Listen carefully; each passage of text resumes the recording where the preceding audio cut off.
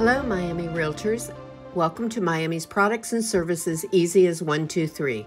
Today we're looking at the addition to all our Miami dashboards, the Condo HOA Registry for Miami Dade County.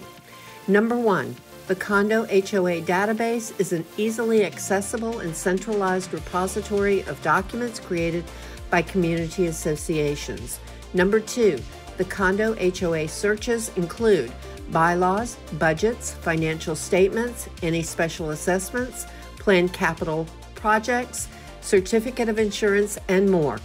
Number three, this portal allows you to search the Community Association Registry from January 2023 to the present.